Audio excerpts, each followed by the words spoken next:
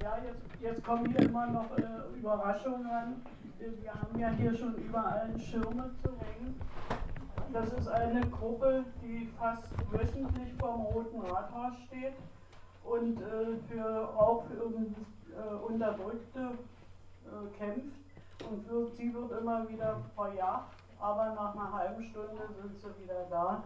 Und heute ist sie gekommen und äh, zeigt uns erneut ihre Solidarität.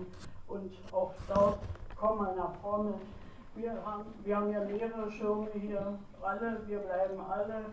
Und hier dieser, und hier, bis der Bagger kommt. Also, also nochmal schönen Dank für eure Solidarität. Und ja, wir wünschen uns gegenseitig Glück und ja. Erfolg.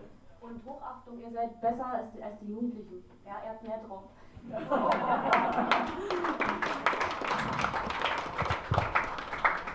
naja, weiß ich nicht. Also äh, wir haben äh, ja also jetzt in dieser Zeit vielleicht kurz nur noch äh, viele Bekannt oder Bekanntschaften machen müssen mit ehemaligen Hausbesitzern, die aus ehemaligen Westberlin sind. Die sind natürlich in der Zeit zahnlos geworden, und, äh, aber sie begründet oder haben natürlich uns auch bewundert in unserem Alter.